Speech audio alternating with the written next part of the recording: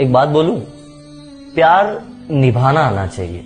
हो तो सबको जाता जिनकी अदाओं के हो रहे हैं सब दीवाने और लुक से जिनके किलर। आज हम बात करने वाले हैं उसी वायरल हो रही लड़की के बारे में, जिन्होंने कुछ ही मंथ में इंस्टाग्राम रील्स पर बना ली है अपनी पहचान।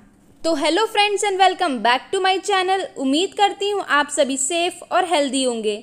आज की इस वीडियो में हम बात करने वाले हैं सोशल मीडिया इन्फ्लुएंसर कनिष्कास उर्फ़ कनिष्का शर्मा के बारे में। जानेंगे इनके स्ट्रगल की कहानी और बहुत कुछ इंटरेस्टिंग फैक्ट्स इनके बारे में। तो वीडियो बहुत इंटरेस्टिंग होने वाला है एंड तक ज़रूर देखना।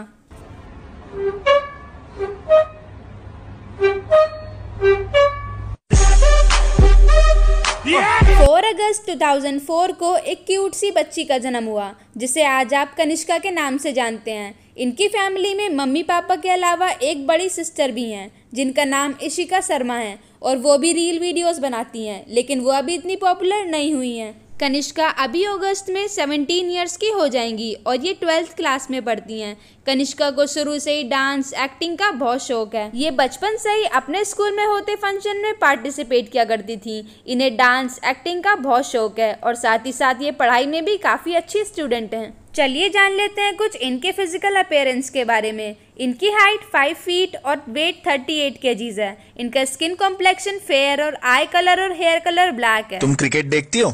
हाँ कोहली मेरा फेवरेट प्लेयर है। हाँ विराट अच्छा प्लेयर है। विराट भी अच्छा है लेकिन कोहली सबसे बेस्ट है। चलिए दोस्तों अब जान लेते हैं कि इन्होंने अपने सोशल मीडिया करियर की शुरुआत कब और कैसे की थी।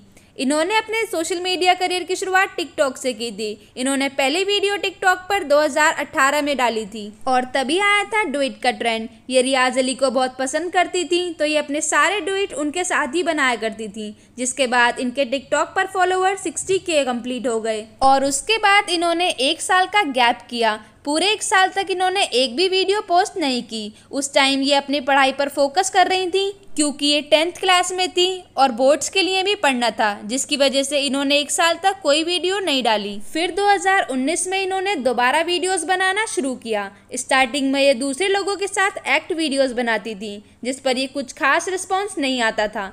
फिर इन्होंने सोलो वीडियोस अपनी खुद के वीडियोस बनाने की सोची और ट्रांजिशन वीडियोस बनाने लगी, जिसमें से इनका एक वीडियो वायरल हो गया। उस पर मिलियंस में व्यूज़ आए और 500 के के करीब लाइक्स और टिकटॉक पर इनके 150 के फॉलोअर्स हो गए। लेकिन तभी टिकटॉक बैन हो गया। इन्हें स्टार्टिंग में बहुत बुरा लगा, क्योंकि इनके फ्रेंड्स सोसाइटी वाले सभी लोग बोलने लगे थे कि अब क्या करोगी। ये काफ़ी परेशान रही, लेकिन फिर इन्होंने दोबारा सब कुछ शुरू करने की सोची और ये इंस्टाग्राम पर रील्स बनाने लगी। दोस्तों, आपको बता दूँ कि इनके कुछ ही मंथ में इंस्टाग्राम पर वन मिलियन फॉलोअर्स कंप्लीट हो गए, क्योंकि इनकी रील्स इतनी तेज़ी से वायरल हुई कि देखते ही देखते इनके हंड्रेड के से एक मिलियन तक पहुँच गए। दोस्तों, इनकी एक वीडियो पर 73 मिलियन व्यूज़ और 6.3 मिलियन लाइक्स हैं, जो कि किसी क्रिएटर के लिए आम बात नहीं है। इन्होंने हाल ही में अपना वन मिलियन का सेलिब्रेशन कंप्लीट किया है। इनका एक यूट्यूब पर चैनल भी है, जिस पर अभी ज़्यादा सब्सक्राइबर्स नहीं है, जिसका नाम कनिष्का शर्मा है और उस पर ये अपने व्लॉग्स डालती हैं।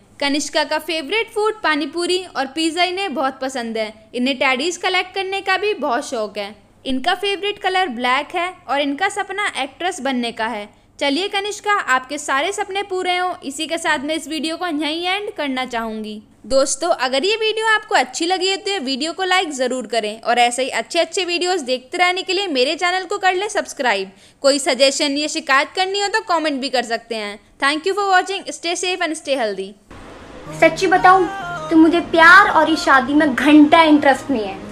मैं तो शादी भी चूड़ा और लहंगे के लिए करूँगी। रेड लहंगा पहनने का बड़ा शौक है मुझे।